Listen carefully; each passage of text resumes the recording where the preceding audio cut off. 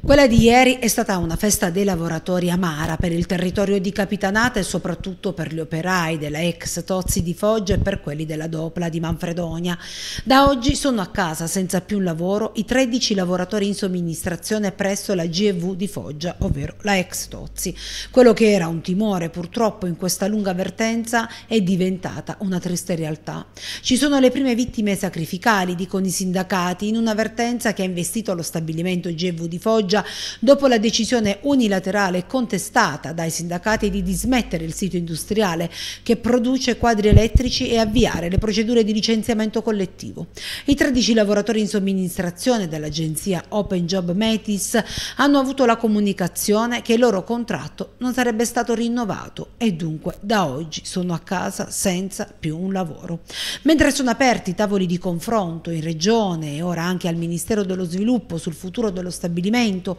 ha commentato Giovanni Tarantella, segretario del Nidil CGL di Foggia, sentito dalla nostra redazione, dice le scelte della multinazionale americana investono in modo drammatico i lavoratori che erano parte integrante della produzione del sito, lavoratori che vivevano nell'attesa di una stabilizzazione e che oggi invece si ritrovano in pochi mesi senza un reddito e senza un lavoro. L'ennesimo schiaffo ad una provincia che presenta uno scenario occupazionale a tinte fosche dove alla scarsità di occasioni di impiego ci sono le poche possibilità e sono precarie. Dall'altra parte della capitanata, a pochi chilometri da Foggia, si registra ancora l'ansia e la disperazione dei lavoratori della Dopla. All'indomani di quella che doveva essere la giornata che celebra il lavoro eh, per la sua eccellenza, invece